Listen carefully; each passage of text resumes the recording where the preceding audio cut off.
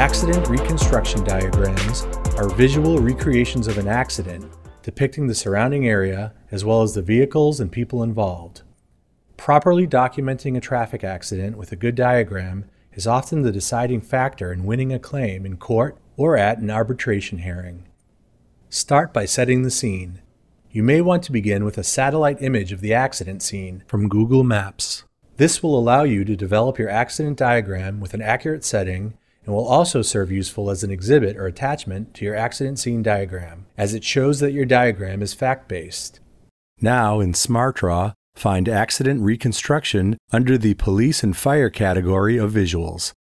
In the Smart panel, you'll find roadway and intersection templates to help you get started. Find the road layout that you're trying to illustrate and drag it to the work area. SmartDraw includes hundreds of symbols for everything you need in your accident reconstruction. Cars, trucks, and vehicles of all kinds, traffic signs, road markings, and lots more. Simply select the symbols you need from the Smart panel and place them where you want them. This intersection features signals at each corner and an overhead traffic light at the center, so we'll open the Roadway Objects and Signs library. Just drag the objects where they belong. We'll also add a compass and our diagram information box from the Smart panel.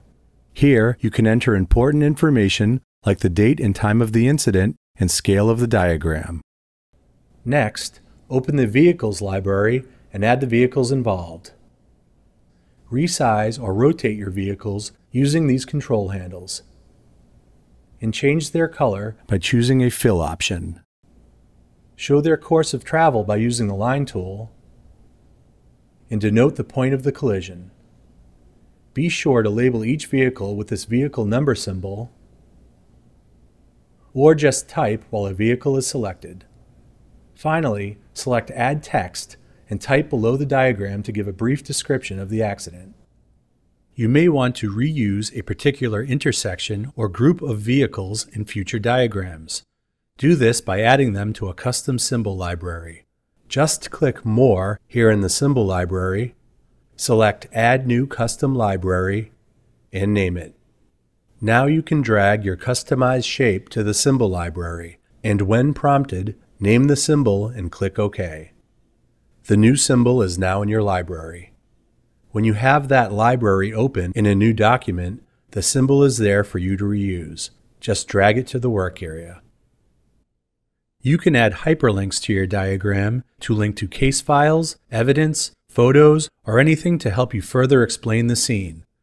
Just right-click on a symbol and choose Add Hyperlink. Browse to a shared file or enter a web address and click OK.